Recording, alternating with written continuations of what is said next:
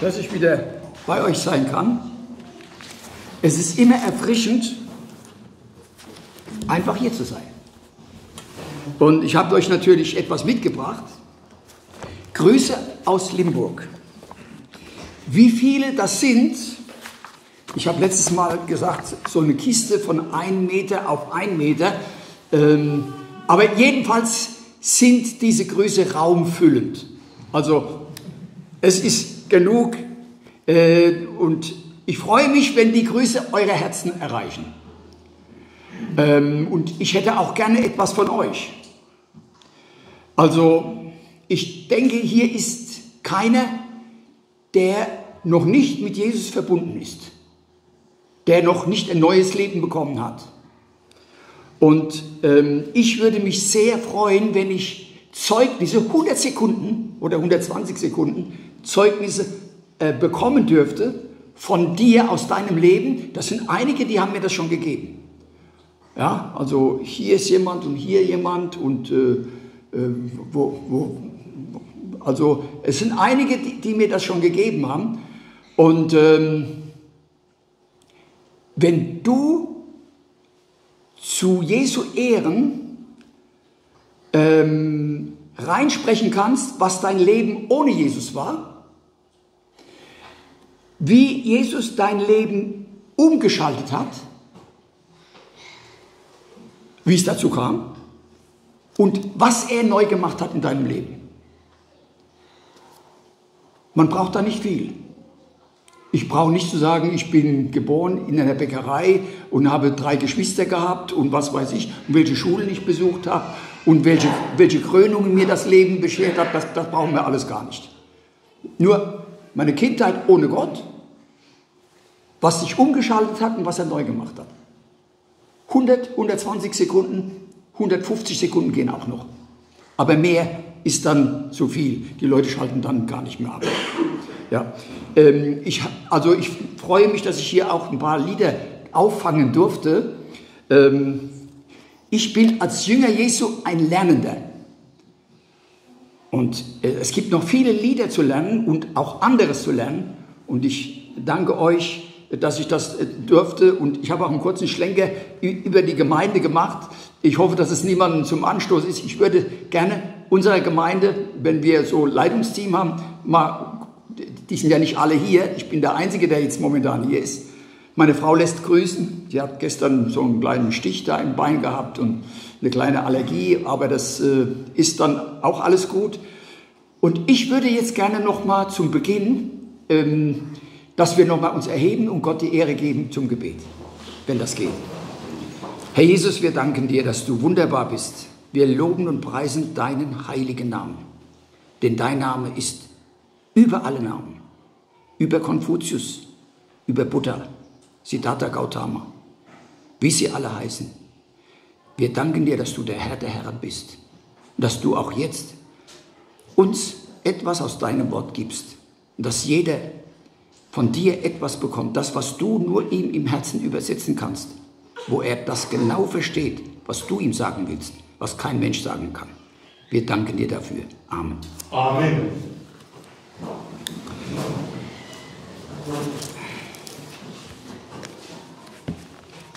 Also das Thema lautet durch Tun und Lassen zum Sieg. Durch Tun und Lassen zum Sieg. So, das ist die Kurzüberschrift. Ich bin mal gespannt, was uns jetzt erwartet. Ich lese uns einen Text aus dem Alten Testament und der steht in 1. Könige 17, 1. Könige 17.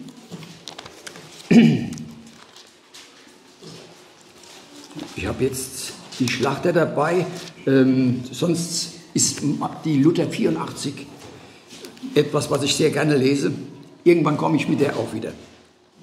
Und Elia der Tisbiter von den Einwohnern Gileads sprach zu Ahab so wahr der Herr lebt, der Gott Israels, vor dessen Angesicht ich stehe, es soll in diesen Jahren weder Tau noch Regen fallen, es sei denn, dass ich es sage. Und das Wort des Herrn ging an ihn folgendermaßen. Geh fort von hier und wende dich nach Osten und verbirg dich am Bach Krit, der östlich von Jordan, vom Jordan fließt, und du sollst aus dem Bach trinken, und ich habe den Raben geboten, dass sie dich dort versorgen. Da ging er hin und handelte nach dem Wort des Herrn. Er ging und blieb am Bach Krit, der östlich vom Jordan fließt, und die Raben brachten ihm Brot und Fleisch am Morgen und Brot und Fleisch am Abend, und er trank aus dem Bach. Es geschah aber nach einiger Zeit, dass der Bach vertrocknete, denn es war kein Regen im Land. Da ging das Wort des Herrn an ihn folgendermaßen, mache dich auf und gehe nach Zarpat, das bei Zidon liegt, und bleibe dort. Siehe, ich habe dort einer Witwe geboten, dass sie dich mit Nahrung versorgt. Wie wunderbar. Und er machte sich auf und ging nach Zarpat. Und als er an das Stadttor kam, siehe, da war eine Witwe dort, die Holz sammelte, und er rief ihr zu und sprach, hole mir doch ein wenig Wasser im Gefäß, damit ich trinken kann. Als sie nun hinging, um es zu holen, rief er ihr nach und sprach, bring mir doch auch einen Bissen Brot mit. Sie sprach, so wahr der Herr, dein Gott lebt, ich habe nichts Gebackenes, sondern nur eine Handvoll Mehl im Topf und ein wenig Öl im Krug. Ich habe ein paar Holzstücke gesammelt und gehe hin und will mir und meinem Sohn etwas zubereiten, damit wir es essen und danach sterben. Total ausgemergelt, ausgehungert. Vers 13. Elia sprach zu ihr, fürchte dich nicht. Geh hin und mache es, wie du gesagt hast. Doch bereite mir davon zuerst einen kleinen Brotfladen und bring ihn mir heraus. Dir aber und deinem Sohn sollst du danach etwas machen zum Essen und Trinken. Denn so spricht der Herr, der Gott Israels, der Mehltopf soll nicht leer werden und das Öl im Krug nicht weniger werden, bis zu dem Tag, da der Herr es auf den Erdboden regnen lassen wird. Ich habe jetzt nicht mehr nachgeschaut, ich glaube, es waren über drei Jahre. Und sie ging hin und machte es so, wie Elia gesagt hatte. Und er aß und sie auch mit ihrem Haus viele Tage. Der Mehltopf wurde nicht leer und das Öl im Krug wurde nicht weniger. Nach dem Wort des Herrn, das er durch Elia geredet hatte. Ja, damit wollen wir mal einsteigen. Fürchte dich nicht. Es gibt Situationen, wir alle Menschen sind schwache Fäden. Wir sind nur ein Hauch. Ein Hauch kann uns umfegen. Aber wenn Gott zu mir und zu dir sagt, fürchte dich nicht, dann hat er einen Grund. Jesus sagt in Matthäus 28, Vers 18, mir ist gegeben alle Gewalt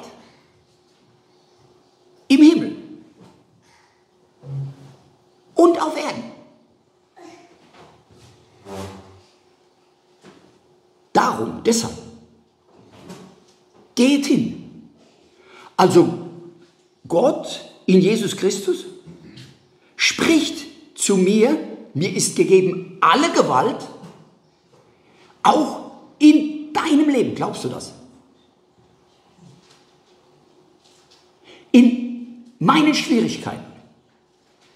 Die Frau, ich weiß nicht, wie gläubig sie war, weil sie hat gesagt, da bete du zu, nicht zu meinem Gott. Gott hat sie vorbereitet, zu geben, den Rest, den sie hatte, oder von dem Rest, den sie hatte. Und sie sagt, bete du zu deinem Gott. Also war ihr Gott gar nicht so nah, aber Gott hat diese Frau ausgesucht. Vorlaufende Gnade. Wenn Gott Menschen schon vorbereitet, das ist gewaltig. Und was macht sie? Was, wenn ich, ja, sie war in so großer Not, dass sie sagt, ich will das jetzt backen und ein bisschen Wasser dazu trinken für meinen Sohn und mich. Sie müssen mehr als ausgemergelt gewesen sein. Und dann werde ich sterben sterben. Es ist meine letzte Reserve von den letzten Reserven. Ich habe gar nichts mehr sonst. Und der Prophet sagt,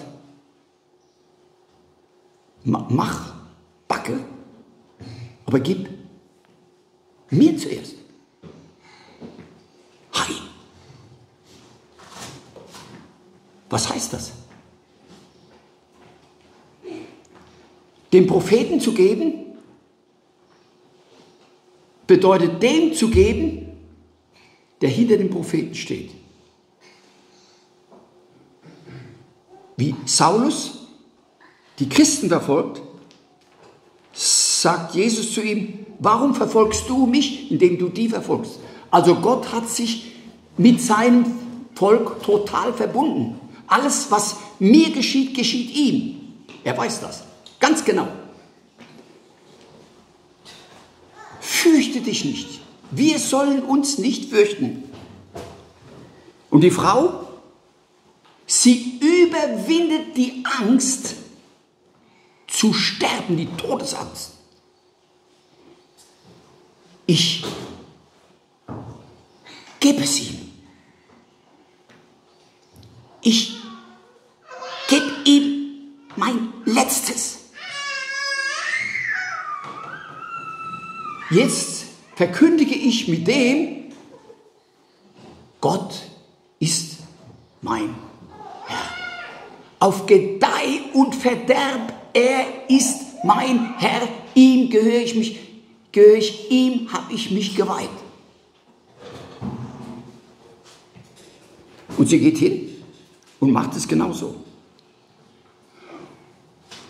Es heißt im 1. Samuel 2, Vers 30, dass Gott sich an denen verherrlicht, die ihn verherrlichen. Und das geschieht genau hier. Er lässt das Öl im Krug nicht alle werden und das Mehl im Fass. Wenn das drei, drei, ich glaube, oder waren es dreieinhalb Jahre, Sie konnte schöpfen und schöpfen und schöpfen und schöpfen und schöpfen. Ein Tag, zehn Tage, 100, 300 Tage, 1000 Tage. Was für einem Gott dienen wir? Wie klein denken wir? Wie wunderbar er wirkt, wenn wir unser Vertrauen ganz auf ihn werfen. Werft euer Vertrauen nicht weg. Das eine große Belohnung hat, Hebräer 10, Vers 35. Keine kleine. Eine große, weil das, was wir hier im Kleinen säen und tun und machen und uns scheinbar abmurksen und abmühen und abquälen, wenn wir mal hineinschauen könnten in die unsichtbare Welt, was im Himmel entsteht. Wir werden hüpfen und springen wie die Mastkälber und, und, und freuen und jubeln, trotz aller Traurigkeit, trotz aller irdischen Traurigkeit und ihren irdischen Mangels. Also das Mehlfass Fass wurde nicht leer und das Öl im Krug mangelte nicht nach dem Wort des Herrn, das er zu Elia gebracht hat. Natürlich gibt es auch immer Leute, die Schwärmer sind. In, äh, ich glaube in New York war das in einer schwarzen Gemeinde, da haben die äh, rumgetobt und haben gesagt, ja, äh, Schlangen, so weiter steht, ihr werdet auf Schlangen treten und sie werden euch nichts machen, auf giftigen Schlangen natürlich. Ähm, und Halleluja und, und so weiter. Und die Leute sind, die haben Giftschlangen in den Gottesdienst mit reingenommen und wollten das also wirklich so demonstrieren. Die sind reihenweise mit Giftschlangen gebissen worden und die Polizei kommt, musste kommen und musste, musste diese ganze Geschichte dicht machen. Nein, wenn der Herr es mir sagt. Elisabeth Seiler war in China um, die, äh, um eine Kurve gegangen. Plötzlich hat sich eine riesige Schlange vor sie aufgebaut. Sie war doch Missionarin, sie wollte das Evangelium bringen. Völlig unerwartet. Und sie konnte nur den Namen Jesu ausrufen. Das Viech ging runter, weg. Der Weg war frei und sie konnte weitergehen. Im Namen, der Name Jesu ist wunderbar. Er ist eine Kraft, er ist eine Burg, worin wir hinein fliehen dürfen. Aber das ist eigentlich gar nicht so jetzt direkt mein Thema. Also erstens, erster Punkt, Du kannst nur einer Stimme folgen. Die Stimme war, hat bestimmt an der Witwe von Zachfas Herz angeklopft. Willst du dieses letzte Stück Brot wirklich geben? Bist du noch klar im Kopf?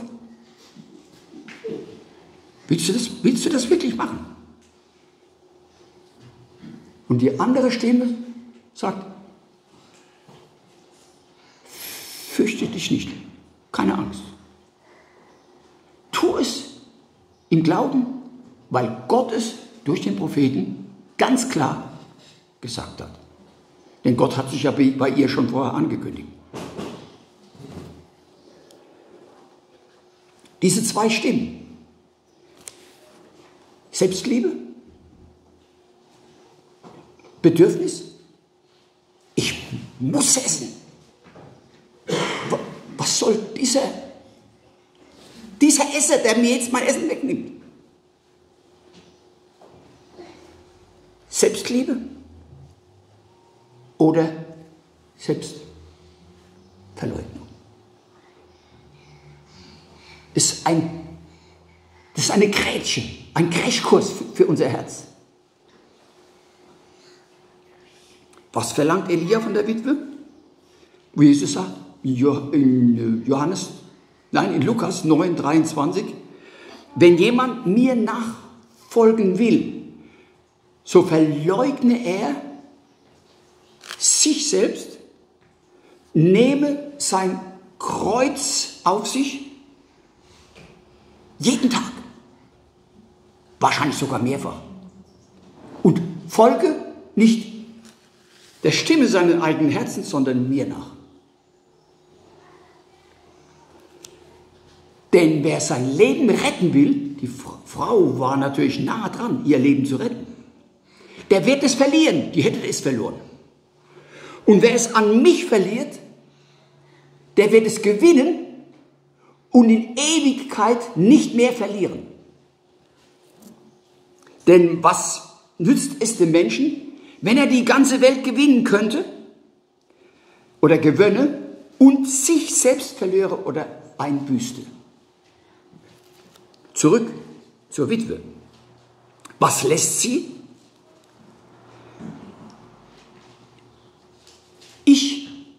Mir, mein, unser. Dazu sagt sie nein. Was tut sie? Wir sind also bei dem Thema tun und lassen zum Sieg. Was tut sie? Zuerst Gottes Sache.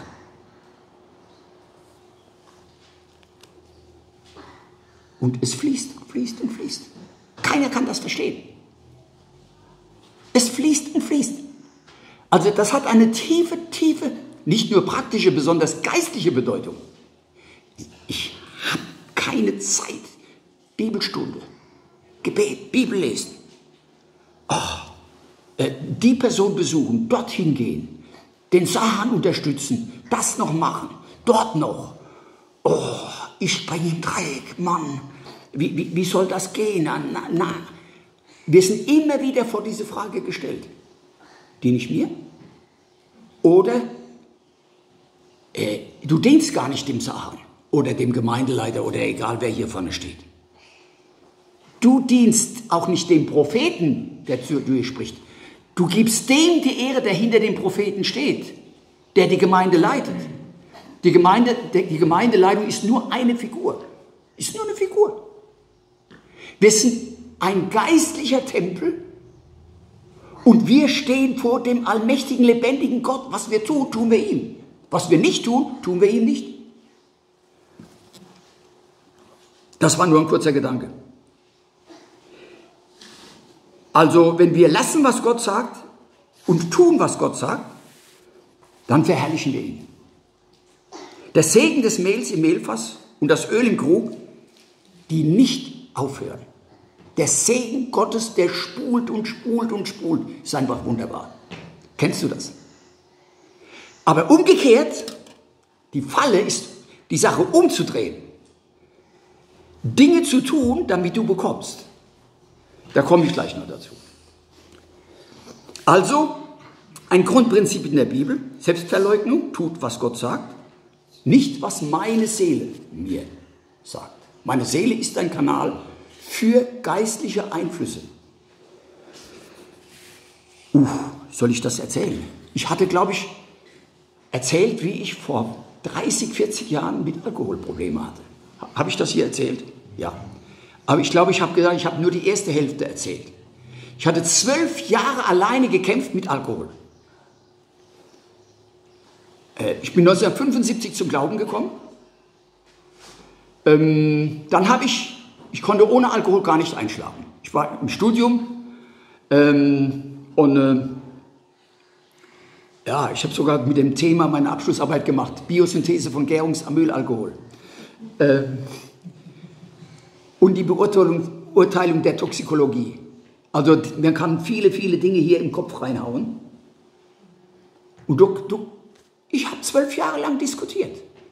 Und eigentlich war die Sache ganz klar. Ich habe so viel Kraft aufgewendet. Ich bin nicht süchtig.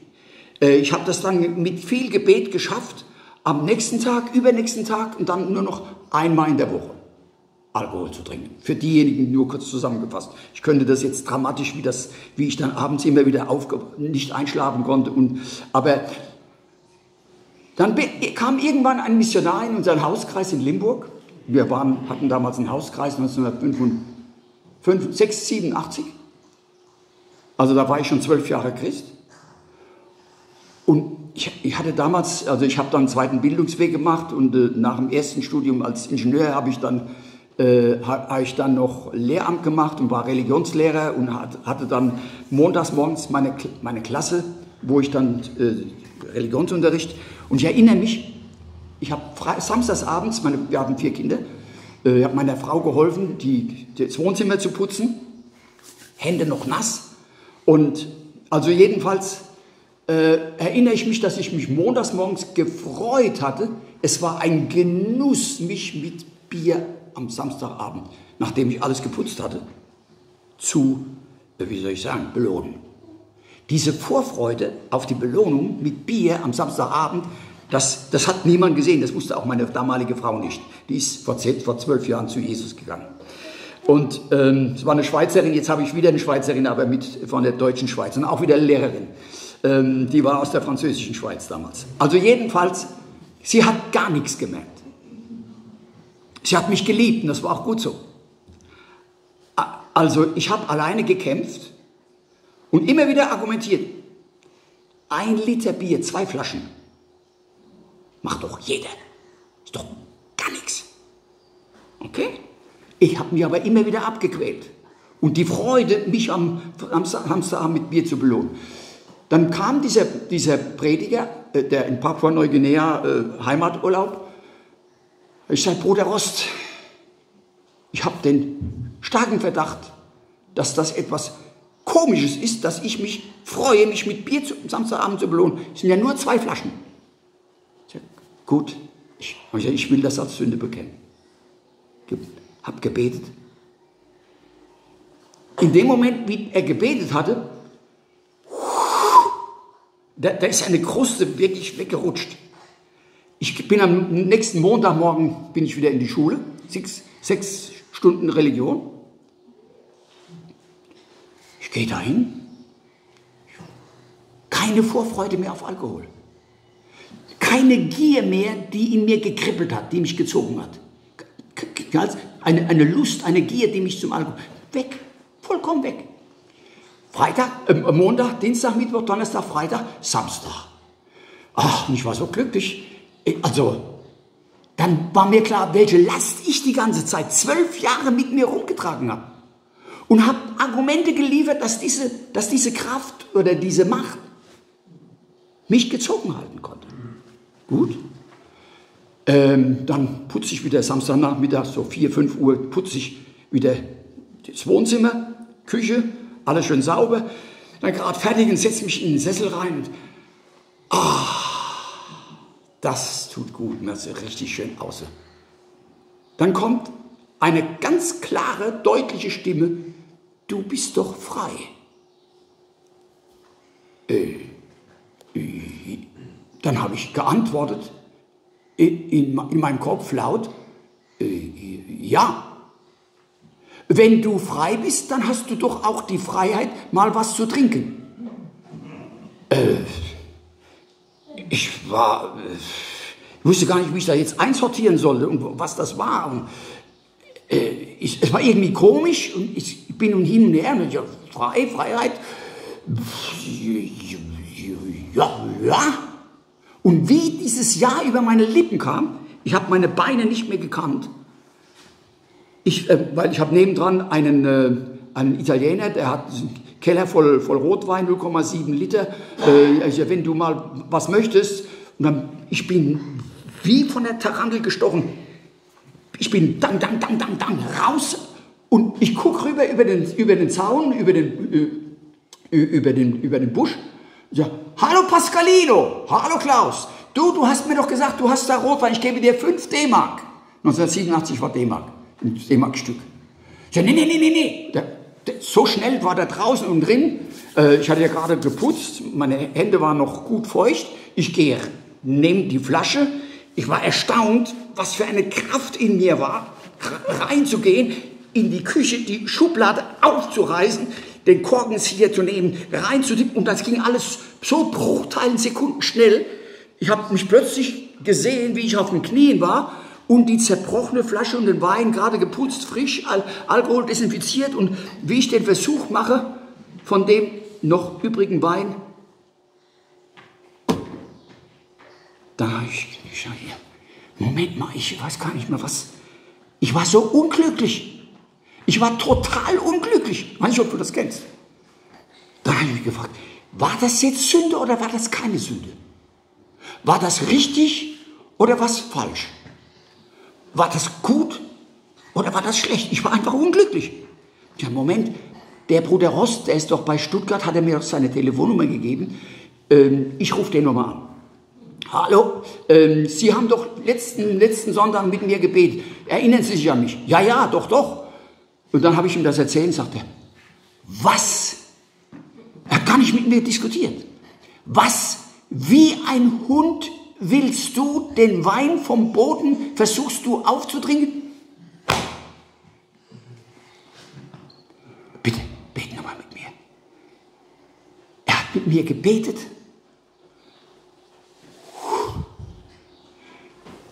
Die Herrlichkeit Gottes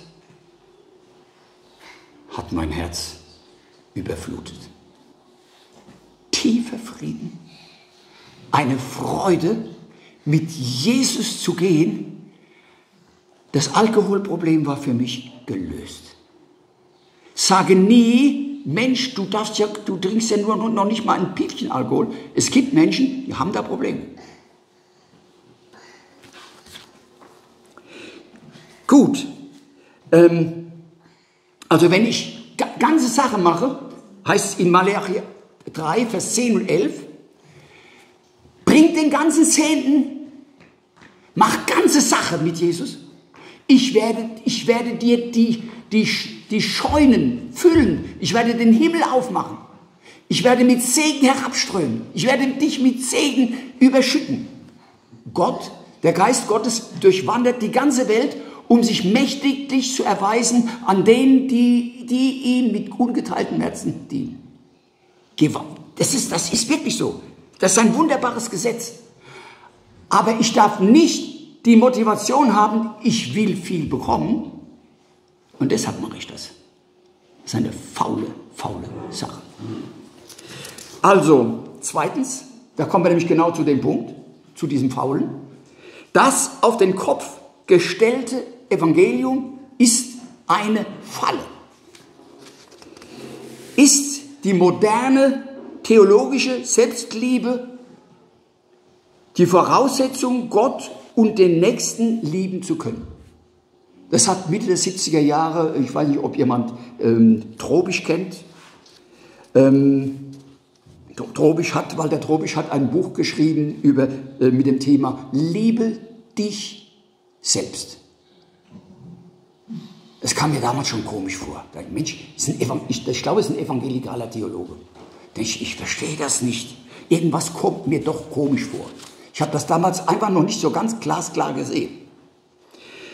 Also, er hat Anleihen, Anleihen von einem äh, Psychotherapeuten, äh, der heißt Erich Fromm, ein Deutscher, der in Amerika äh, äh Psychotherapie gelehrt hat an der Uni. Und der hat Folgendes vom Stapel gelassen. Das müsst ihr euch mal auf der Zunge oder im Ohr zergehen lassen, was er gesagt hat. Er hat gesagt, die heutige Kultur ist von einem Tabu verseucht, das Tabu egoistisch zu sein. Und nicht beigebracht, ähm, uns wird beigebracht, dass es Sünde ist, sich selbst zu lieben. Und eine Tugend, wenn wir andere lieben. Wie ist sein Gottesbild? Er sagt, Gott ist ein grausamer Diktator, der hat den Kain dazu getrieben, den Abel zu ermorden. Merken wir, wie das Evangelium genau rumgedreht wird. Und die Seele des Menschen ist so empfänglich dafür. So empfänglich. Ja, ich muss mich doch selbst lieben. Ja, ist doch klar, du sollst Gott dienen und deinen Nächsten wie dich selbst. Trobisch. Und äh, der hat diese Leute alle reingezogen. Es gibt noch mehr. Auch die Leute, die so eine riesige Glaskuppel äh, mit Zehntausenden von Leuten, mit Mords-Events. Äh, verstehst du? Du musst die Sprache denn nicht Gott. Ja, Martin Luther und, und Calvin, die haben einen Fehler gemacht. vielleicht habe ich das hier auch, glaube ich, rauskopiert. Raus ähm, wo habe ich das geschrieben? Also, die haben, ah ja, Robert Schuller, ähm, der ähm, in seinem Buch Self-Esteem, er hat eine neue Reformation eingelöst, äh, ausgelöst. Ähm, aber leider keine positive. Bob Schuller zitiert, Gott möchte, dass wir alle gut über uns denken. Wiedergeboren zu werden bedeutet, dass wir von einem negativen Bild über uns, uns, äh, uns selber, zu einem positiven äh, verändert werden.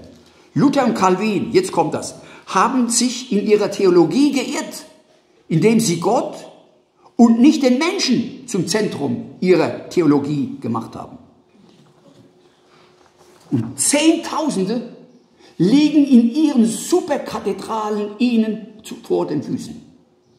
Es ist ein auf den Kopf gestelltes Evangelium. Es sieht total schick, cool und ach, smart. Weißt du, ein Gospel, dass du, du kannst dich da selbst verwirklichen. Wir holen da große Leute. Ist nicht schlecht, wenn jemand ein Zeugnis gibt und so weiter. Das, da, dagegen bin ich gar nicht. Es, Zeugnisse tun also gut auflockern. Ich, ich liebe das Echte, das Praktische, das wirklich, das authentisch ist, ja. Aber Show verherrlicht nicht Gott, den Menschen. Und das sieht man, die Theologie und, das, und die Praxis sind genau in einer Linie. Und wir, sind, wir leben voll, voll, voll von diesen Megaleuten, die mega Gelder machen. Von mir aus kann jemand 10 Millionen im Jahr verdienen, das ist mir egal, das ist mir wurscht. Aber die Menschen und wie die Menschen damit verführt werden, darum geht es.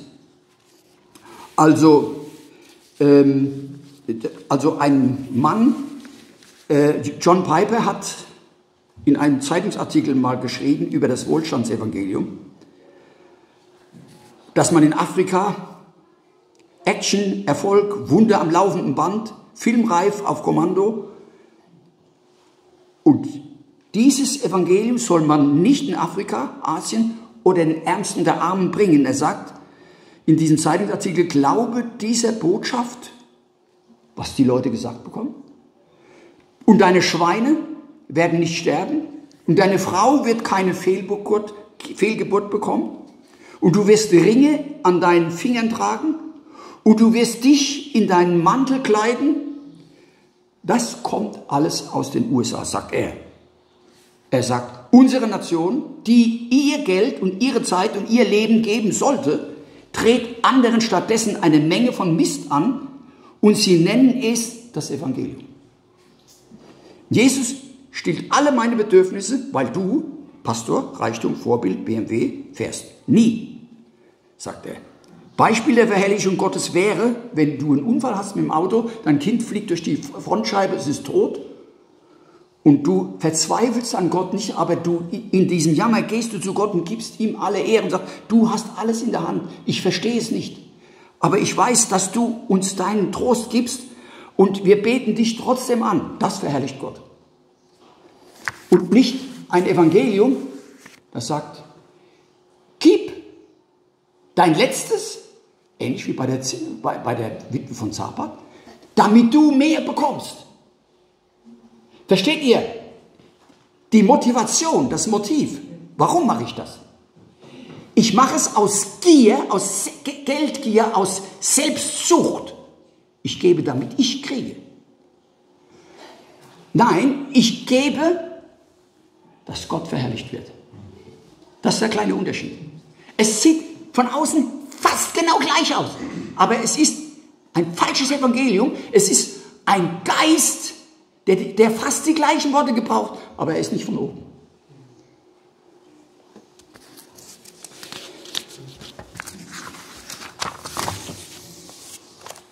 Die Bibel sagt, der Mensch ist ein knallharter Egoist. Durch den Sündenfall. Alle sind wir selbstsüchtig. Und viele Bibelübersetzungen, besonders modernere, ähm, haben das Wort Fleisch, das Leben im Fleisch, mit selbstsüchtigem Verhalten, mit, dass der Mensch selbstsüchtig ist. Er will alles raffen haben. Kleines Kind schon. Ein Dreivierteljahr oder Jahr, ersten Worte, die, die ist, eines der ersten Worte, Mama, Papa, und dann haben, haben, haben. Ist interessant. Und und diese Theologen wollen uns weismachen und Psychologen wollen uns weismachen, nein, nein, ähm, also die selbst, der Mensch muss, muss sich selbst äh, verwirklichen, das muss man ihm erst anerziehen. Nein, gar nicht. Gar nicht. Ähm, die Bibel äh, sagt, der Mensch ist ein Egoist, weil er vor, äh, Gott verloren hat. Deshalb hat er die Herrlichkeit Gottes verloren. Und das ist übrigens der Grund, warum der Mensch hier innen drin eine, eine innere Leere verspürt, die er, Blaise Pascal hat mal gesagt, die er durch nichts anderes füllen kann, als durch Gottes Herrlichkeit, die uns in Jesus Christus durch seinen Heiligen Geist entgegenkommt und wieder füllen will. In ein gereinigtes Herz hinein. Weg von der Selbstsucht. Weg von dem Dreck. Weg von dem Ärger. Weg von der Schlechtlichkeit. Weg von der Empfindlichkeit. Weg von dem Stolz, der die Empfindlichkeit verursacht. Und, und so weiter. Also der Mensch ist tot in Sünden und Übertretungen, Epheser 2, Vers 1. Er ist unfähig, Gott zu suchen und Gutes zu tun, Römer 3. Er ist ein Feind Gottes. Er ist böse und verhasst und hassend, Titus 3. Und durch und durch egoistisch, 2. Timotheus 3, Vers 2, das lese ich uns mal vor, und Vers 3 und 4. Die Menschen werden selbstsüchtig sein. Da steht wirklich das Wort Selbstsucht drin. Geldliebend, prahlerisch, hochmütig, lästerer, den Eltern ungehorsam, undankbar, unheilig, lieblos, unversöhnlich, verleumder, unenthaltsam. Also sie können sich nicht beherrschen, unenthaltsam. Grausam, das Gute nicht liebend, Vers 4, Verräter, unbesonnen, aufgeblasen. Und jetzt kommt was ganz Symptomatisches für unsere Zeit. Mehr das Vergnügen lieben als Gott. Punkt.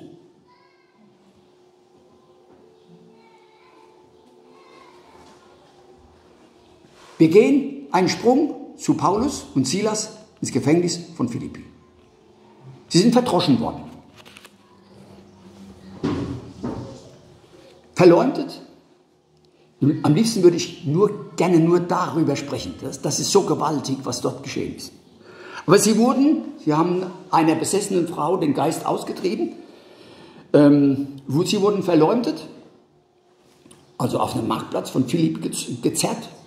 Äh, also wurde schlecht über sie, würden Dinge aus der Luft rausgeholt und ihnen, was ja heute auch in der Politik oft gerne gemacht wird, wer unbequem ist, der wird also kalt gemacht, der wird, da werden Sachen also ins, so aufgeblasen und die anderen, die wirklich Dreck am Stecken haben, wird total verschwiegen. Also verleumdet, geschlagen, gefangen, gefoltert, gekettet. Im Gefängnis.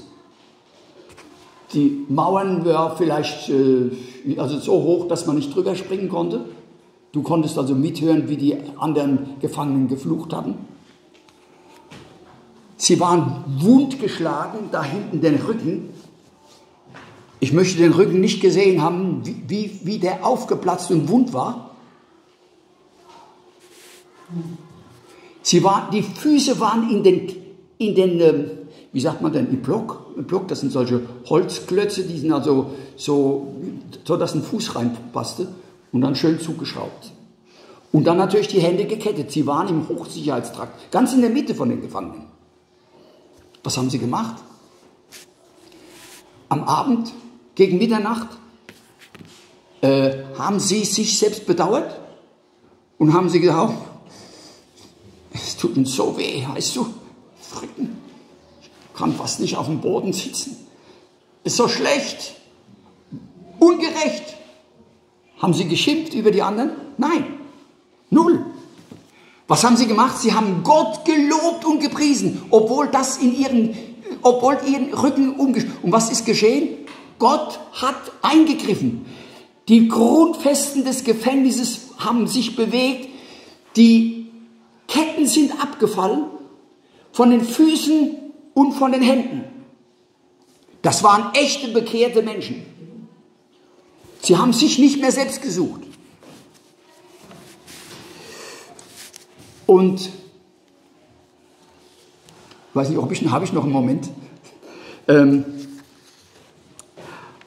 und Gott hat eingegriffen.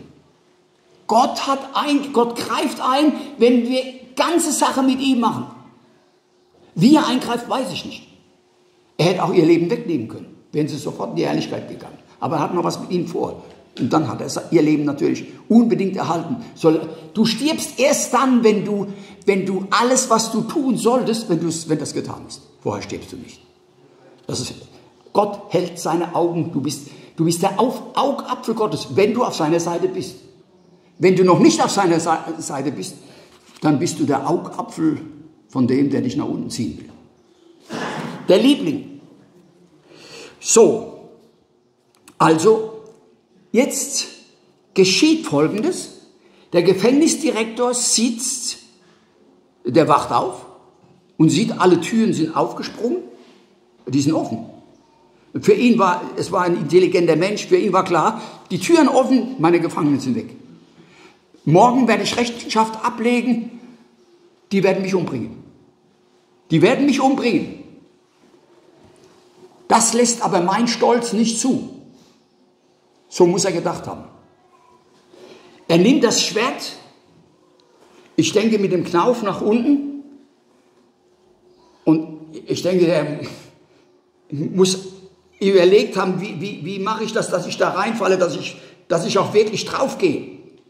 Paulus und Silas sehen das. Sie gucken ganz genau raus. Und jetzt haben sie mehrere Möglichkeiten. Das erste ist, aus dem selbstsüchtigen Fleisch die Genugtuung, Mensch, unsere Fesseln sind ja ab.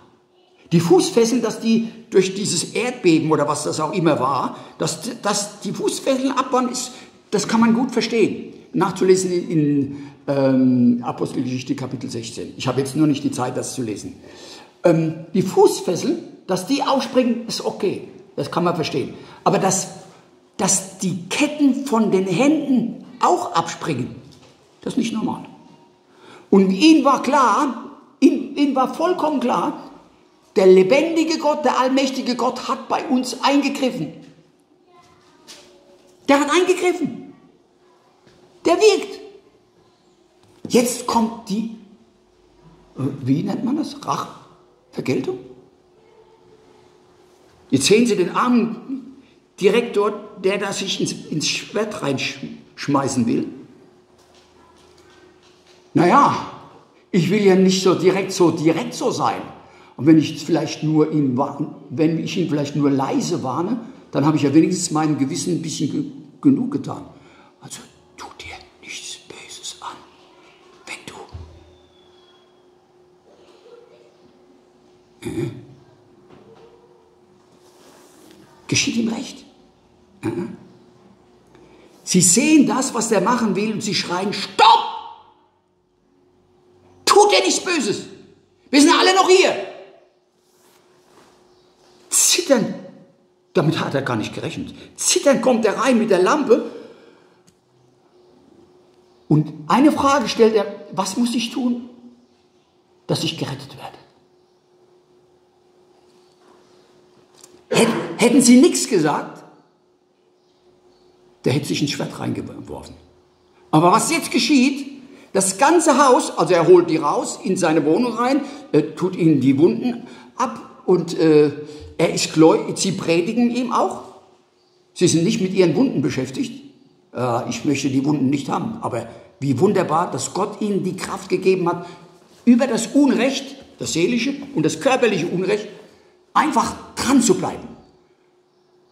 Siehe da, nicht nur der Gefängnisdirektor, alle Leute, die in seinem Haus wohnen, Bediener und so weiter, die kennen ja wahrscheinlich, das muss es ein sehr ruppiger Mensch gewesen sein. Oh, wenn ein Mensch sich bekehrt, du kriegst den Mund nicht mehr zu. So verändert. Wie ist das möglich? Von diesem Gott, da will ich mich auch taufen lassen. Die, ganzen, die ganze Familie, die ganze, das ganze Haus hat sich in derselben Nacht bekehrt und sofort taufen lassen.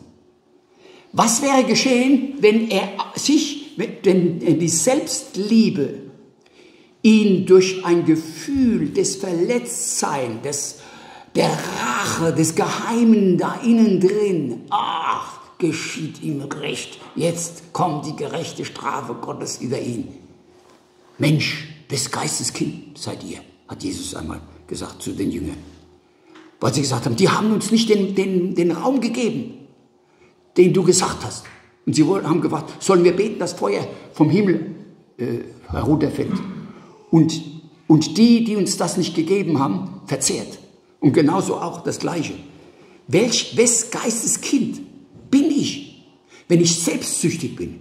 Wenn die selbstsüchtig gewesen wären, selbstbezogen, selbstverwirklicht, Rache, der, es wäre nur Schaden entstanden. Ich weiß nicht, wie es mit Ihnen weitergegangen wäre, im Gefängnis, mit dem Gefängnisdirektor, der tot wäre, mit den Leuten in seinem Haus. Und wir sehen, wie Gott weil sie, sie haben das letzte Stück Brot und Wasser im übertragenen Sinne. ausgeliefert an Gott. Sie haben die Schmach, die Wunden, das, das Elend, was sie erlebt haben. Sie haben Elend erlebt. Sie haben das nicht aufgewogen. Sie haben, sie haben es einfach bei Gott gelassen. Verstehst nicht. Wir verstehen manchmal Sachen nicht. Aber lass sie bei Gott. Und Gott hat ein ganzes Haus voll Heil gebracht. Ach, es wäre noch so vieles zu sagen. Aber jedenfalls, das ist so kostbar, wenn du die Bibel liest. Es gibt kein spannenderes Buch als die Bibel. Es ist wunderbar. Also durch Tun und Lassen sind sie zum Sieg gekommen. Sie haben Rache gelassen und sie haben Versöhnung gepredigt. Äh, noch einmal, sie haben die Rache, die Rache haben sie gelassen. Sie haben verzichtet auf Rache. Und sie wollten ein Segen sein. Sie haben Richtgeist gelassen. Mensch, was der da vorne wieder predigt. Dummes Zeugs. Lass es doch. Richte nicht. Du wirst auch da nicht gerichtet.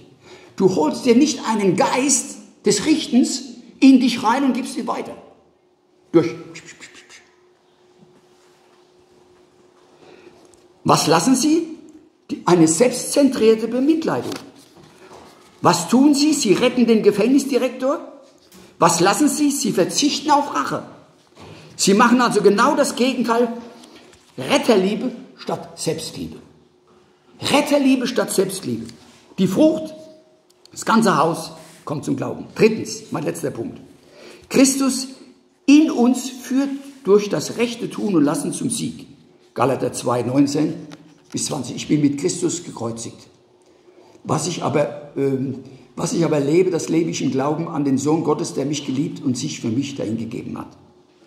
Ich bin mit Christus gekreuzigt. Ich lebe doch nun nicht ich, sondern Christus lebt in mir. Also sein Geist überwindet. Genau. Ähm, wenn du mit Sünde kämpfst, und du die Lust zur Sünde nicht drangegeben hast, wie bei mir bei dem Alkohol. Oder es gab noch ein anderes, äh, aber vielleicht lasse ich das jetzt, das wird zu viel. Ähm, nächstes Mal vielleicht. Äh, also, du wirst angegriffen, ohne Buße. Du, du kannst dich auch erleichtern, indem du sagst, du, ich muss das in Ordnung bringen. Es war nicht in Ordnung. Du kannst das ohne Reue, kannst du deine Sünden bekennen. Also die Gier zieht dich, du hast Niederlage, äh, du trinkst wieder Alkohol oder vielleicht ist es bei jemandem schlecht reden oder vielleicht ist es, du hast ein, ein Porno-Bild gesehen oder irgend sowas. Mann, wieder Niederge Niederlage, Gewissensnot, weil dein Gewissen, das, das, das quält dich. Ähm, du bekennst seine Sünden, wenn wir unsere Sünden bekennen, ist er treu und gerecht und reinigt uns von aller Sünde. 1. Äh, Johannes 1,9. Aber ohne Buße. Es tut dir gar nicht leid. Es, es, du willst das schlechte Gefühl weghaben, aber du hast gar keine Reue. Göttliche Reue brauchen wir, dass mein Ich, eine Ich umstürzende Reue brauchen wir. Hat einmal ein Bruder vor 100 Jahren gesagt. Ähm, also, und wenn ich, wenn es mir leid tut, äh, dann entsteht sowas wie Metanoia, das ist der griechische Begriff, äh, Epistrevo oder Metanoia sind zwei Begriffe. Metanoia heißt, bedeutet Sinnesänderung. Die, anderen, die Gedanken werden komplett rumgedreht. Du willst das nicht mehr. Deine Einstellung ändert sich. Und, und weil deine Einstellung sich ändert, kehrst du auch äußerlich um. Du entschuldigst dich. Du, es tut mir leid. Äh, ich habe mich total geirrt, dass ich das vor anderen Leuten zu dir gesagt habe. Äh, das war wirklich Müll, das war, das war schlecht, da war böse. Kannst du mir bitte vergeben? Ähm, also du kehrst um und jetzt, wenn ein Herrschaftswandel stattgefunden hat, 1. Petrus, du hast dich unter Gott gedemütigt äh, und der Wandel im Geist, wenn, weil jetzt der Geist Gottes bei dir ist, hast du eine Abscheu vor dem Unreinen, vor dem Bösen, vor dem Schlechten, vor der Faulheit, vor der Handysucht, vor, vor irgendetwas anderem. Also du hast, du hast die Abscheu, du bist befreit von der Macht des Alkohols, der dich immer wieder zieht, der dich dahin kitzelt. Du bist befreit von der Macht der Sünde, der Lust zur Sünde. Und du kannst überwinden, indem du das tust, was der Geist Gottes sagt. Gib das letzte Stück Brot. Verzichte auf die Verurteilung von dem Gefängnisdirektor und den Leuten, die Leute, die dich geschlagen haben. Gib das Letzte dran. Verzichte darauf. Verzichten und opfern heute, in unserer heutigen Zeit, Tabu, ein Wort. Äh, ein Unwort des Jahres könnten wir daraus machen. Opfern und verzichten, Unwort, das geht doch gar nicht. Nein, nehmen, nehmen, nehmen, nehmen. Ist doch bequem. Brauchst nichts zu machen. Du brauchst noch nicht mal in die Gemeinde zu gehen. Du klickst dich dann irgendwo so durch, dann landest du irgendwo in einer Glaskathedrale und so. Du kriegst dann alles gesagt, äh, wie, wie, da. Ja. Ähm, Sieg in dir durch Jesus. Weil wenn Christus in dir ist, ist der Geist Jesu in dir, der die Sünde überwunden hat und der überwindet dir, der gibt dir die Kraft. Aber du, ich muss auf Jesus eingehen. Dann, habe ich, dann hast du ein gutes Gewissen. Der Herr, der hat Sieg geschenkt. Der hat Gelingen geschenkt. Oh, ich, ich, bin, ich, ach, ich bin ihm so dankbar. Ich habe ein gutes Gewissen behalten. Ich habe die Drecks. Und ein anderer sagt, ich schaff's nicht. Ich weiß von jemandem, der hat einen, einen Hammer genommen, hat einen Computer reingeschlagen. Ich habe das Ding, ich habe das Ding nicht im Griff. Besser ein Auge ausreißen oder Hand abhacken. Äh, das ist natürlich symbolisch gemeint. Äh, verstehst du, du musst bis zum letzten durchgehen. Dann, dann kann der Herr sagen, wenn du mit mir im letzten durchgehst, gehe ich mit dir bis zum letzten durch. Wir werden gemeinsam zusammen den Sieg schaffen. Punkt. Es ist, er ist wunderbar. Ich habe ein gutes Gewissen. Ich diene Jesus, ich diene nicht mehr meinem Ich, meiner beleidigten Leberwurst. Der Herr ist mit voller Macht bei mir. Er gibt mir Vollmacht und die, der nächste Angriff kommt. Und du darfst stehen. Du darfst stehen. Egal, ob du Männlein oder Weiblein bist, das ist wunderbar, mit Jesus zu gehen. Ähm, wie viel Uhr haben wir jetzt? Ich glaube, ich mache dann doch vielleicht langsam zu. Ja, das hatte ich mir dann also jedenfalls. Fritz Binde hat vor 100 Jahren gesagt, die Selbstklugheit im Kopf, die Selbstgerechtigkeit im Herzen und das Selbstkönnen im Arm, das ist die Dreieinigkeit aller unbußfertigen, ungläubigen Leute, die nur gestürzt wird durch die Gottesmacht biblischer Buße. Also das Bedürfnisloch kriegst du nie durch Selbstliebe gefüllt. So, ich glaube, jetzt haben wir noch eine, äh, eine Folie. Können wir die noch? Eva von Thiele-Winkler, die hat ihr ganzes Adelsvermögen dran ge... Oh, ist das nicht nochmal das gleiche? Ein weißes? Ja, ja, genau, genau. Das habe ich mir heute Morgen noch schnell zurecht gemacht. Dann kann ich das hier von hier aus lesen. Lassen wir das einfach mal so in uns reinspulen. Also worauf es ankommt. Selbstliebe oder Liebe, die dient und die gibt. Links, es kommt nicht darauf an, glücklich zu sein, sondern andere glücklich zu machen. Geliebt zu werden sondern zu lieben und anderen zum Segen sein. Ist das meine Einstellung? Ist das meine Herzenshaltung? Sich selbst, es kommt nicht darauf, sich selbst durchzusetzen, sondern sich selbst zu verleugnen. Es kommt nicht darauf an, dass Gott unseren Willen tut, sondern dass wir seinen Willen tun.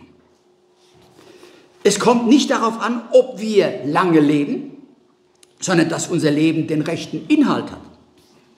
Kommt nicht darauf an, was Menschen von uns denken und sagen, sondern was wir vor Gott sind. Kommt nicht darauf an, was wir sind, sondern wie wir sind. Ob wir wie Jesus sind. Man nennt das Heiligung. Äh, es kommt nicht darauf an, ob wir viel Erkenntnis haben, auch theologische Erkenntnis oder Bibelwissen, das was gut ist. Aber es kann aufblähen. Sondern das Erkannte in die Tat umzusetzen. Es kommt nicht darauf an, dass wir dem Leiden entgehen, auf Teneriffa oder in Kanada oder in Alaska oder am Südpol, sondern das Leiden seinen Zweck an uns erreicht. Es kommt nicht darauf, äh, ja, und dann sagt sie, sei kindlich abhängig von Gott und kindlich unabhängig von Menschen.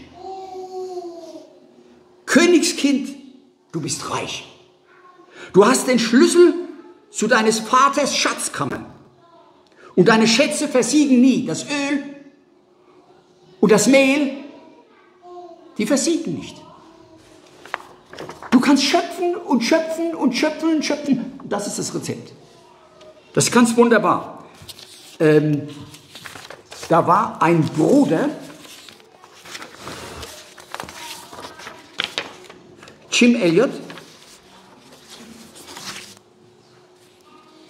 Der hat gesagt, Herr, zünde an den toten Reisigaufen meines Lebens.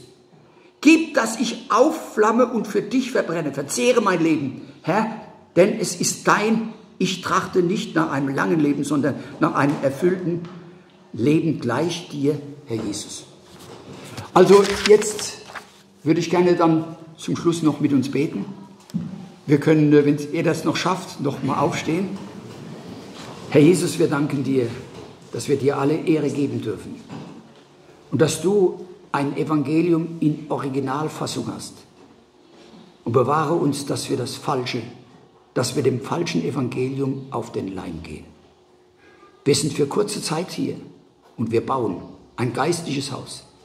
Wir sind geistliche Bausteine und schenke, dass wir dir verfügbar sind, hier in der Gemeinde, und dass wir einfach nur eines wollen. Ich will zum Segen sein. Ich will dir dienen.